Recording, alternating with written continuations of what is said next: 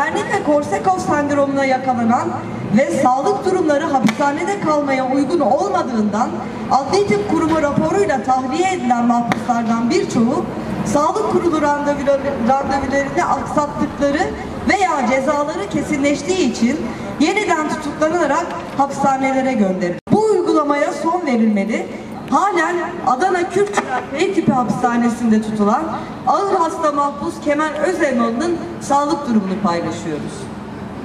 36 yıllık mahpus Kemal Özelmalı, Wernicke Korsekov sendromu, Alzheimer, hepatit, böbrek yetmezliği, prostat ve mide hastalıkları yanında beyin dokusunda küçülme, hafıza kaybı, taşikardi, duyma ve görme yetilerinde ileri seviyede azalma, ayağına takılı platin nedeniyle hareket kısıtı sorunları yaşamakta, tek başına yaşamını sürdürememektedir. Kemal Özelmalı 19 Aralık ölüm oruçları sonrasında Adli Tıp Kurumu tarafından Wernicke Korsekov tanısı konularak ve bu koşullarda hapishanede yaşamını sürdüremeyeceği belirtilerek tahliye edilmiş ancak sağlık kontrollerini iki gün geciktirdiği gerekçesiyle 2002 yılında tekrar tutuklanarak hapishaneye konulmuştur.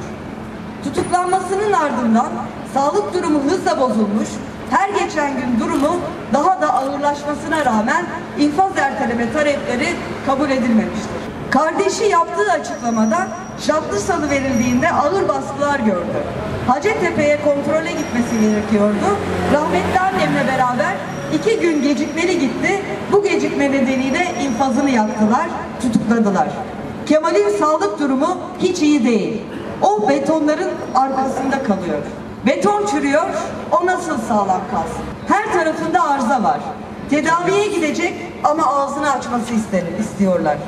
Ben sizinle konuşmuyorum, ağzında ne olabilir diyor, ağzını açmıyor. Bu nedenle tedaviye götürülmüyor. Hiçbir suçu olmamasına ve ağır hasta olmasına rağmen cezaevinde tutuluyor. Kemal'e pişman ol, seni bırakalım diyorlar. Kemal de pişman olacak hiçbir şey yapmadım diyor. Suçu bu kadar büyükse pişman olursa nasıl bu kadar büyük suçu affedecekler anlamıyorum.